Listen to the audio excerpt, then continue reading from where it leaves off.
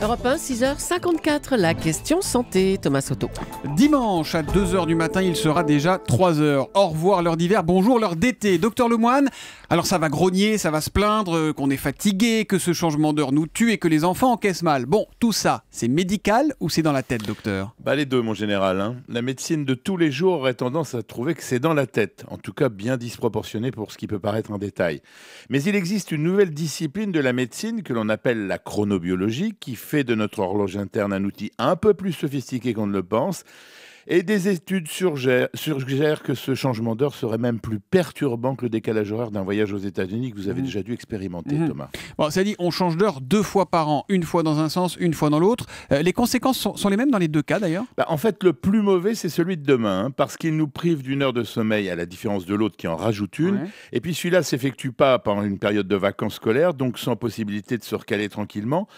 J'ai trouvé qu'une seule étude suédoise hein, qui dit qu'il y aurait une augmentation des crises cardiaques dans les trois jours suivant cette période, contre 5% de moins lors du passage à l'heure d'hiver. Je n'ai pas retrouvé d'études similaires dans notre pays. Même quand même, si de nombreux médecins constatent chaque année une augmentation de la consommation des somnifères et de tranquillisants dans les 15 jours qui vont suivre. Mais pardon d'insister Jean-François, mais on n'en fait pas des tonnes quand même. Ça arrive à tout le monde de se coucher une heure plus tard, de dormir une heure de moins qu'à l'accoutumée de temps en temps.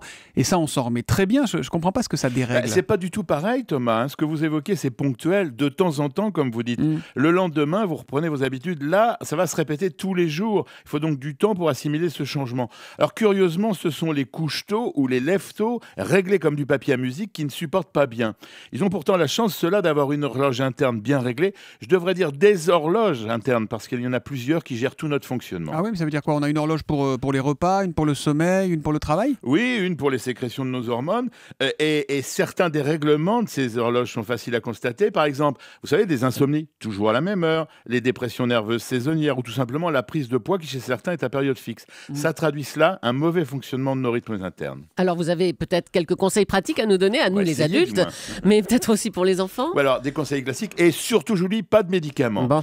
Pendant une semaine, vous évitez l'exercice physique et les excitants après 15 heures. Vous profitez pour revoir un peu le confort de la chambre. Vous virez la télé, par exemple. Mhm. Vous aérez. Regardez et la radio, hein. Oui, euh, bien sûr. Et puis surtout, vous couchez dès que vous en avez envie. Pour les enfants, il aurait fallu, depuis deux jours, essayer de se lever une demi-heure plus tôt pour les habituer. Pour eux, les personnes âgées, c'est un peu plus dur.